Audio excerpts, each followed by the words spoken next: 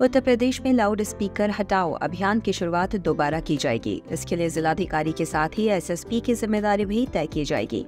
इस संबंध में मुख्यमंत्री योगी आदित्यनाथ ने समीक्षा बैठक के दौरान इस बात के निर्देश दिए हैं। जानकारी के मुताबिक मुख्यमंत्री योगी आदित्यनाथ ने त्योहार से पहले प्रदेश के सभी जिलाधिकारियों और पुलिस अधीक्षकों के साथ समीक्षा बैठक की है। इस बैठक में आने वाले त्योहार, नवरात्रि, दुर्गा पूजा, विजयादशमी, दशहरा दीपावली, छठ पूजा को लेकर व्यवस्थाओं की चर्चा की।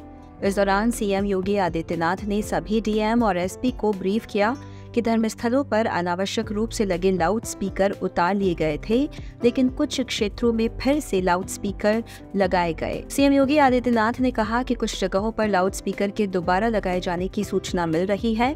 उन्होंने कहा कि सुप्रीम कोर्ट की गाइडलाइन को फॉलो करते हुए लाउडस्पीकर की ध्वनि को पहले की तरह नियंत्रित कराया जाए। अगर ऐसा नहीं होता है और लगातार शिकायत आती है तो डीएम और एसएसपी की ज़िम्मेदारी होगी। मुख्यमंत्री योगी आदित्यनाथ ने कहा कि हाल के दिनों में मैंने अनुभव किया कि कुछ जिलों में पुनः लाउड स्पीकर लगा लिए गए। ये स्वीकार्य नहीं है और तत्काल संपर्क संवाद कर आदर्श स्थिति बनाई जाए। इस दौरान शासन स्तर के वरिष्ठ अधिकारियों के साथ ही जिला स्तर के अधिकारी मौजूद रहे। सीएम ने जनहित के मुद्दों को प्राथमिकता देने की बात कही। बता दें कि पहले लाउडस्पीकर हटाने की कार्यवाही शुरू होने के दौरान तमाम लोगों ने स्वेच्छा से लाउडस्पीकर हटा दिए थे। इस कदम की पूरे देश में सराहना हुई थी।